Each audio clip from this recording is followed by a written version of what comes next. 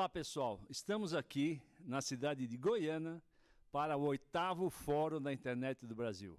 Estou aqui ao meu lado o professor José Luiz Ribeiro, o conselheiro do Comitê Gestor da Internet, um dos coordenadores desse fórum. Tudo bem, José Luiz? Como é que vai? Gostaria que você falasse um pouquinho sobre a expectativa desses três dias de fórum aqui nessa maravilhosa cidade de Goiânia. Por favor. Bom, Nivaldo, é, é uma satisfação a gente estar aqui em Goiânia realizando o fórum esse ano, com o apoio da Universidade Federal aqui de Goiás. E nesses dias de evento, nós temos uma programação bastante rica, extensa, com debates. São 27 workshops que foram selecionados pelo CGI, que vão trazer temas relacionados com proteção de dados, com fake news, com o marco civil da internet, enfim, tem uma série de temas muito interessantes.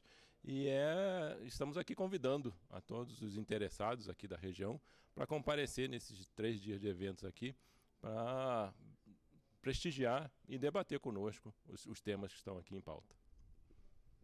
Muito obrigado, Zé Luiz. Mais uma vez, convido aqui o pessoal de, dessa região, de Goiânia, Brasília, que venham aqui fazer parte desse grupo e conhecer sobre a governança da internet. A governança da internet no Brasil tem quem olhe, quem tem quem tome conta e vamos debater, vamos discutir o que tem por aí, o que está rolando na internet no Brasil e no mundo. Muito obrigado.